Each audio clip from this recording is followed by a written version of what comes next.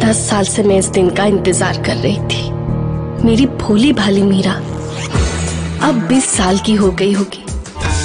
और मेरी छोटी नटखट विद्या, वो भी कितनी बदल गई होगी।